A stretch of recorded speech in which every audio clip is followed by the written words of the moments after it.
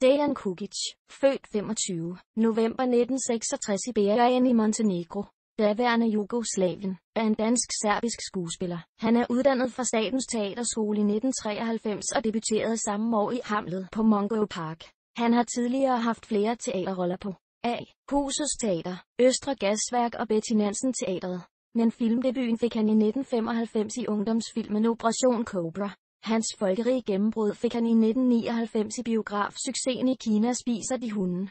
Efterfølgende har han gjort sig bemærket i film og tv-serier som Den serbiske dansker, Nikolaj og Julie, Bag det stille ydre, Anna Pil, Kærlighed på film, Simon og Malua Lykke. I 2007 modtog han Lauritsen-prisen. Desuden er han et kendt ansigt som speaker sammen med Peter Pedersen i tv-reklamerne for Jussi. Siden han var 15 år har han dannet par med Karina Holm, der driver en delikatesseforretning. Parret har datteren Sofia, der er født i 1994. Den 30. marts 2000 blev han arresteret i den jugoslaviske hovedstad Beograd, da han ankom for at finde optagelsessteder til filmatiseringen af Leif Davidsens Den serbiske dansker. Kukic havde unddraget sig værnepligt i landet og måtte opholde sig nogle dage på en kaserne inden. Han fik lov at rejse tilbage til Danmark.